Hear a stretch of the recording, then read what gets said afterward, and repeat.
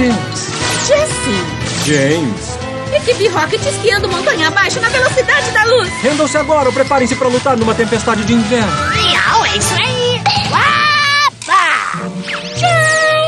Equipe Rocket. Deixem os nossos pokémons em paz.